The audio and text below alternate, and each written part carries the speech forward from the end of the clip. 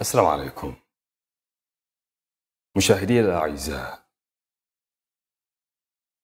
وأهلا بكم في حلقة جديدة من برنامج كلمة اليوم باللغة العربية. وكلمة اليوم هي كلمة تعبان. وتعني شعور المرء بالألم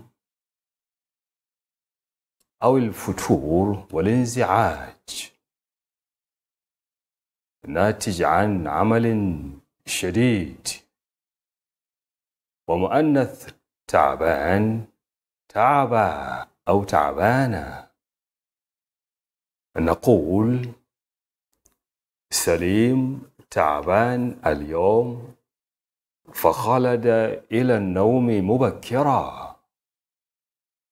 حفصة تعبا أو تعبانا. فخلدت إلى النوم مبكرا. ويمكن استعمال كلمة متعب. مكان تعبان. فنقول سليم متعب اليوم. وحفصة متعبة اليوم. مشاهدي الأعزاء بهذا وصلنا معكم إلى نهاية برنامج كلمة اليوم باللغة العربية. شكرا على كرم المتابعة.